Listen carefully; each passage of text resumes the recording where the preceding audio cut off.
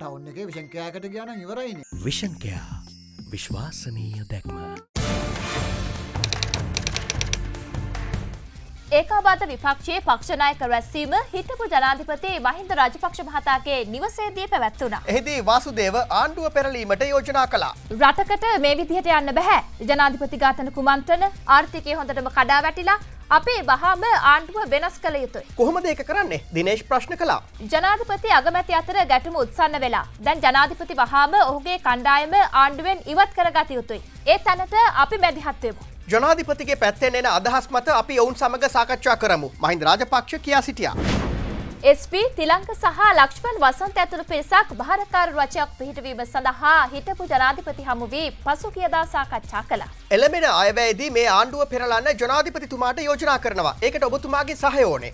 අපි කොහොමත් අයවැයට විරුද්ධයි. ජනාධිපතිතුමාගේ පාර්ශවය තමයි එකග කරගන්න ඕනේ. මහින්ද කිව්වා.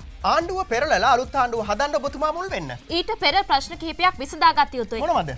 බහුතර බලය හදා ගැනීම කැබිනට් මණ්ඩල සංයුතිය අගමැති ධූරය සහ අනාගත ජනාධිපති අපේක්ෂකකම ගැන එකඟතාවක් නැතුව ආණ්ඩුව කරන්න බැහැ. ඒ කරුණු ගැන අපි කතා කරමු. ජනාධිපතිතුමා සූදානම් නම් UMP එකෙන් ඉවත් වෙන්න සාකච්ඡා කරමු.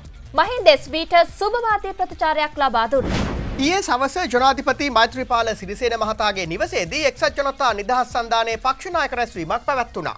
ඊට දිනේශ් SB සුසිල් අතාවුලා තොන්නබන් සහ ලක්ෂ්පන්්‍යාපා සම්බන්ධ වුණා. පළමුුව යෝජනාව අතාවුල්ලා ඉදිරිපත් කළා. අගමැති රනිල් ඉවත් කරලා සඳහන රජයක් හදමු.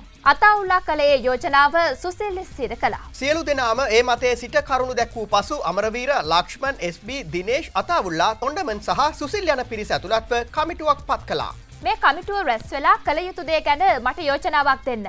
ඉතාම ඉක්මනින් අපි අලිත් රැස්සෙමු. ජනාධිපති මෛත්‍රීපාල සන්ධානය ඉල්ලීම ඒ විදිහට පිළිගත්තා. පිරේ පිට පසු තවත් දේවල් අපි කියන්නම් ලබන සතියේ.